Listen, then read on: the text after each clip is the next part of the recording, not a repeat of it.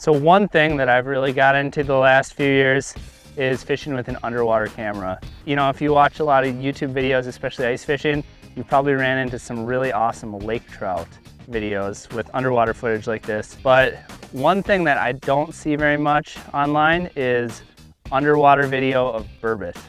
And I think kind of the main reason for that is the fact that, ooh, there's one right there. Sorry about this, guys. Oh, well, as you can see, it's daytime right now. Uh, most guys fish them at night, and I think that's why that's why most guys don't use a camera. Um, but it's really fun. As you can see, I was watching that fish. It was twirling around my bait. I actually didn't notice him because I was looking at you at first. Not a huge one.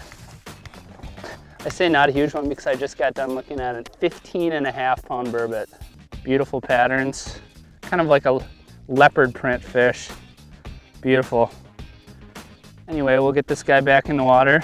The lake that we're on right now, Reed Lake, is fairly clear, but it's definitely clear enough to run a camera. So probably the main reason why I use an underwater camera, outside of the entertainment of course, um, is because you can learn so quickly using it. You know, a lot of guys who've gotten really good at reading flashers believe that they can read the mood of the fish, and, and they can, but it's impossible to beat actually watching them. You know, in my opinion, I think you can learn more in one week of using an underwater camera than you can a whole season on the ice.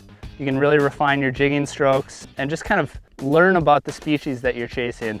And all of this fails to mention the fact that it's insanely fun. Um, to me, there's, there's, no, there's no funner, funner way to catch fish than actually watching them. It's like, it's like sight fishing in open water, but you can see them even better because the camera's this far from the bait. It's a little more work as you can maybe see in front of me here.